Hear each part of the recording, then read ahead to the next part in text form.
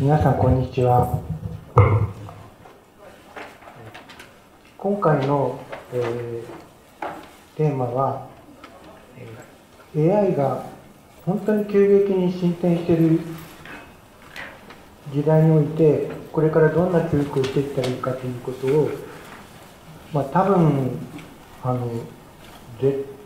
対にこうすればいいっていう答えがある問題ではないと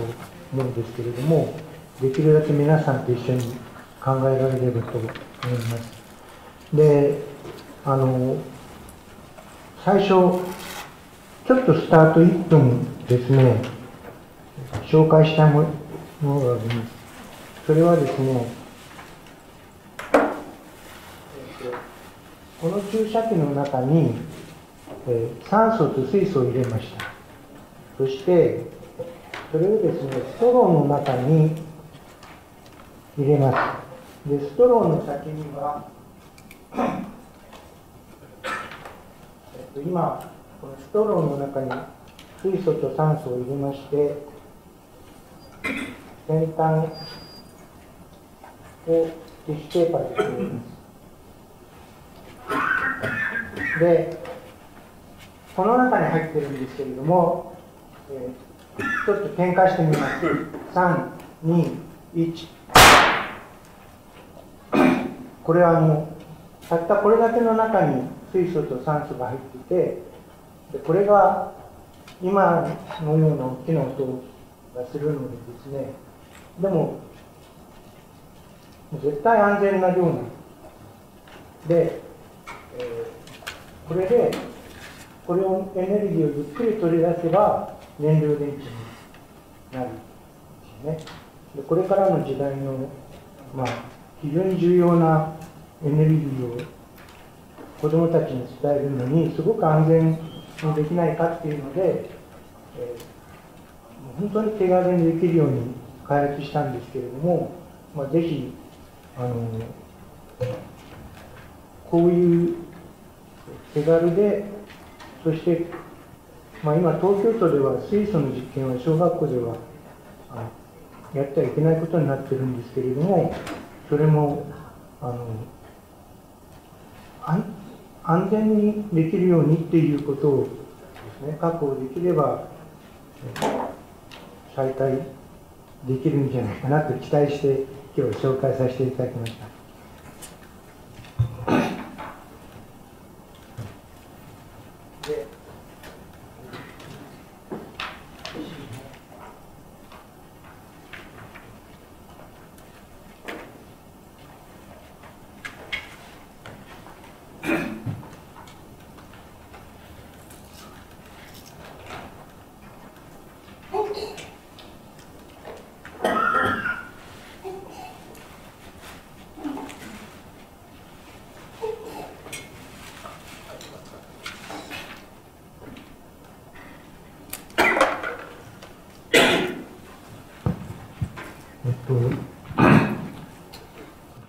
今日のですね、テーマ僕はあの AI 時代が同時にですね、少子高齢化社会の中で進行していくっていうことにかなり不安を覚えています。で、どういう問題があるかを簡単に紹介したいと思うんですけれども、えー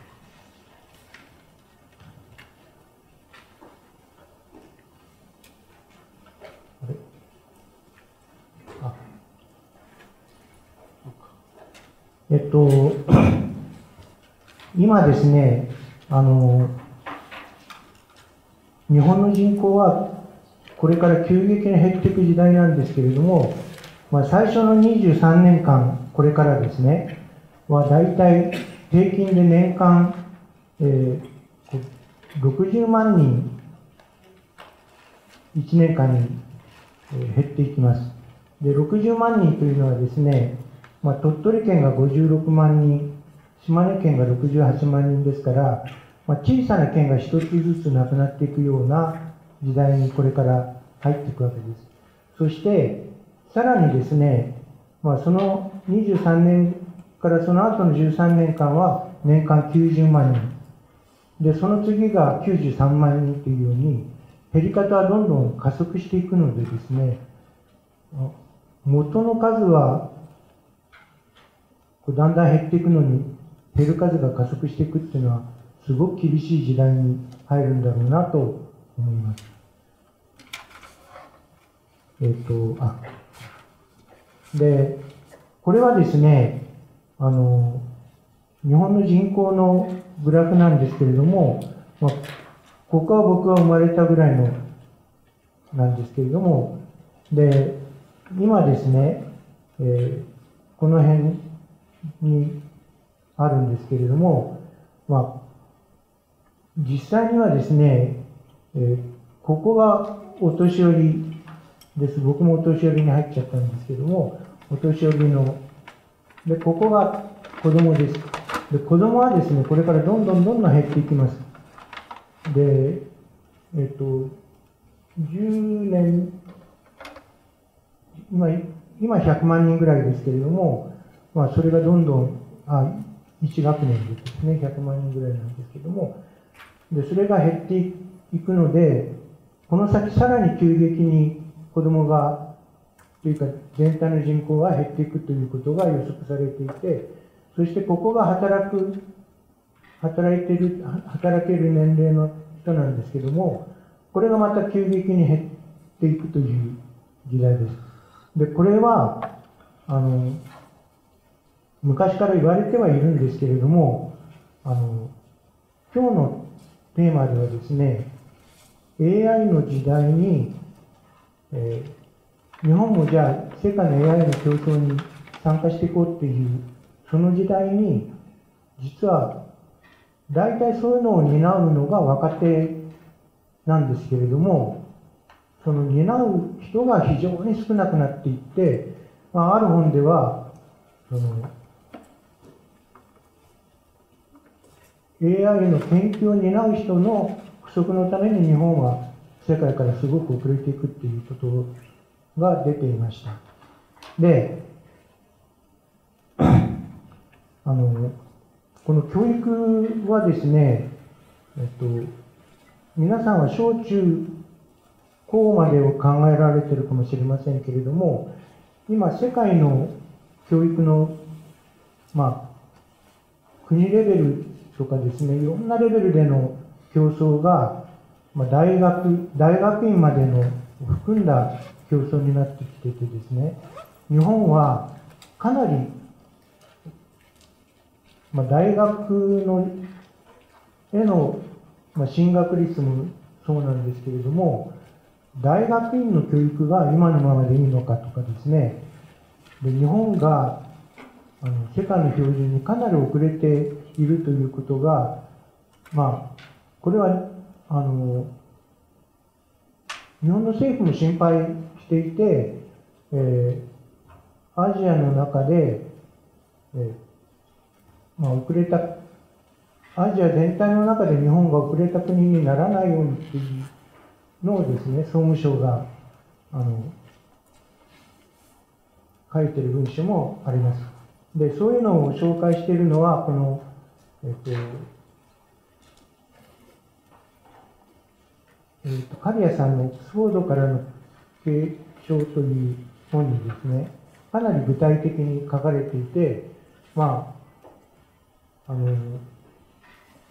その中に出てるんですけれども、えまあ、例えばイギリスはですね、大学院教育を国家戦略として重視してて、まあ、これ、えっと、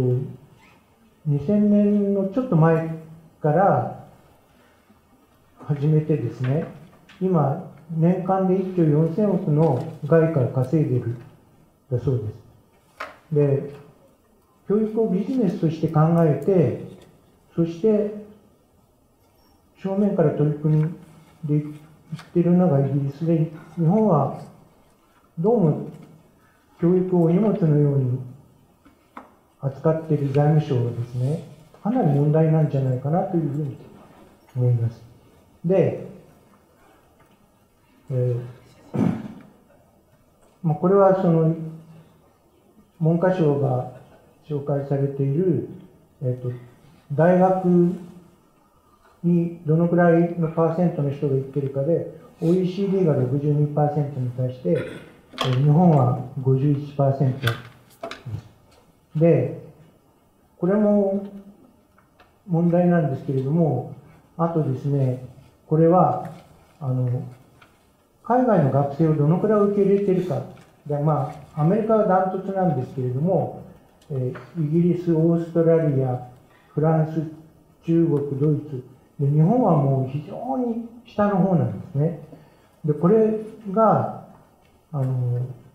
少子化の時代になって、多分、あの海外の有能な人に日本に来てもらいたいという、そこでは、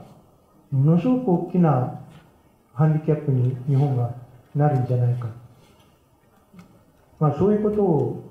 あのいろんな本で書かれててですねでこれからの時代に日本がもうちょっとですねあの目先のことじゃなくてちょっと長い視点を見て教育を上手に教育に投資しながら日本の未来を作っていくっていう視点をですね持たないといけないんじゃないかなっていうふうに思います。で、えっと、これからが本題なんですけれども、AI の進化はですね、多分皆さんいろいろ聞かれてると思うんですけれども、いろんな仕事がこれからなくなっていくっていうことが、まあ、書かれていてですね、まあ、多分、今車がどんどん進化しているので、そのうちドライバーがいなくなるとか、それから、あこれはあの長距離のとかタクシーのドライバーが仕事が失われるとかですね、まあ、いろんな仕事がなくなっていくっていうことが書かれています。で、これ、これは、えつい本当にこの数年の間に急激に変化してきているので、あんまり国民的な理解にはなってないジャンル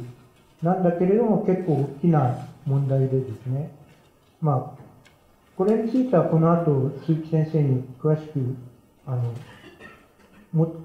いや、そうでもないとか、もっと違う視点も含めてですね、話していただければと思うんですけれども、あの、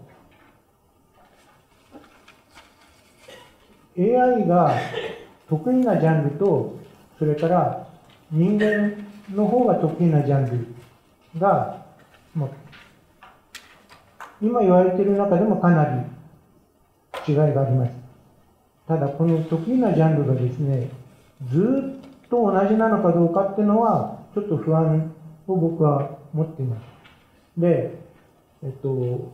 それはですね、あの、一つは、えー、ロボットのような、ロボットに AI を乗せると、まあ、いろんな仕事をさせることができるんですけれども、そのロボットそのものは体から何から作らなきゃいけないので、えー、多分人間の仕事を奪いながらも、それはじわじわと広がっていくものです。ところが AI は、もう本当にコンピューター上で全部データをただ書き換えていくものですから、まあ、ものすごくこれの変化があった時の人間の仕事の変化もすごく大きくてですね。で、えーまあ、これもまた、今回10冊ぐらいこういろんな本、AI に関する経済学の方とか、あの AI の研究者の方も、とかいろんな方の書かれたのを読んでみたんですけれども、えー、先に頭脳労働の方が AI にとって変わられるだろうということを、が出ていました。つまり、仕事のなくなるスピードが、もともと想定されてたのよりも、もっと速くなる可能性がある。で、でも仕事は、あるものがなくなれば、別の仕事に移ればいいんじゃないかというふうに書かれているのもあったんですけれども、このこれまでの何世紀間の中で、これだけ早く急激に仕事がなくなっていく、しかもそれに対応する社会になってないという点でですね、まあ、非常に不安感があるわけです。で、さらに僕がびっくりしたのは、これも日本経、あ、すみません。日本経済新聞に、えっと、あ、これ、もう一つ、量子コンピューターというのが今、実用化されていて、この量子コンピューターは、まあ、もう、2021年に100量子ビットまで行く可能性もある。これはまだ未来のことですからわからないですけれども、まあ、そうすると、今のスパコンの9000兆倍の、まあ、能力を持つっていうことでですね、こういう時代の AI になったらば、これももう本当に、ちょっと先なんですよ。でそういう時代にどういう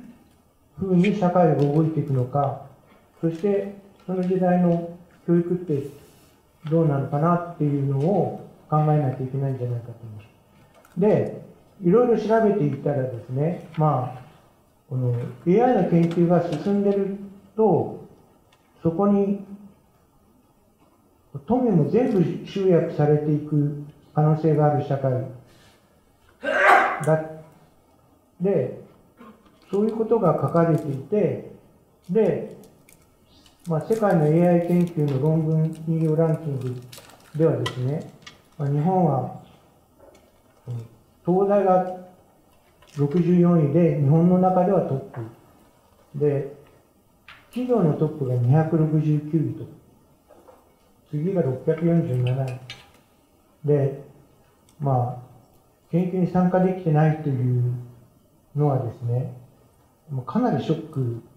これを読んだ時ショックでした。で、あのこういう時代に、僕らが何をしたらいいか、今日提案をしようと思って持ってきてるんですけれども、あの、なかなか難しいなと思っています。で、えっ、ー、と、新井紀子先生ご存知でしょうか、トーロボくんっていう、えー、東大受験のロボットを作った新井先生がですね、あの、まあ、トーロボくんの研究をやめたんですよね。で、あの、それはトーロボくんは、実は、その、本当は何も理解してないんだ。ただ、本当に短い文章を理解、こう、分析するために、150億の文章を覚えさせて、でそれでもなかなかね、言葉を人間と同じように考えて操ることはすごく難しいという。でところが、その中学生がそのロボット、ロボ君に負けてる現状というのがすごく心配だ。で、それは、あの今の日本の子供たちがやっぱりちゃんと考える力を身につけられてない。で、新井先生は、あの、理解し考える力を身につけさせる教育の方が現状では大切だというので、東郎君の研究はもう中心にされたんですね。で、えここにですね、えっ、と、だから同時に急がなければならない、時間はないって言われてるんです。こういう、あの、なんか緊張感というか、そういうのも伝わってくるんですね。で、あの、僕自身はですね、えっと、多分今までの、えー、大学入試を目指した受験勉強型の学習は、役にあまり、あまり役に立たなくなるだろうと思っています。ただですね、AI がいろんなことを判断したり、いろんな情報を集めて、ネット上の情報を集めるところまでは、今、中学生も高校生も大学生もやってるんですけれども、集めたのを自分の頭で考えて判断するっていうことは、結構難しくてですね、それができるような、その子供に育てていかなきゃいけないんじゃないか。で、子供が考えるために、いくら文字上のデータがあっても考えることはできないと思います。で考えるためには、自分の頭の中にちゃんと知識が単純な知識ではなくて構造化されて自分の頭の中に入ってそれを使って考え判断するっていうことができるようになってないといけない。あるだけではダメでそれをさらに上手に使いこなせるところまでつまりその入試の問題を解けるようにではなくて学んだ知識をしっかり身につけてそれをさらに応用することができるような学びっていうのが今必要なんではないかなというふうに思います。で、それをベースに多分探求というような新しいものに挑戦していくことも必要になっていくと思います。で、あの、一応僕の今日の提案はここまでなんですけれども、今ちょっと、え東大の理科教育法を担当してまして、えー、1月17日に、まあ、生徒が考える指導案を今、学生が作ってまして、もしアドバイスをしていただけるならば、1月17日に東大に来ていただければと思います。この後ですね、あの、鈴木先生と清原先生に、まあ、さらに深めていっていただければと思います。じゃあ僕の話はここで終わりにしたいと思います。ありがとうございました。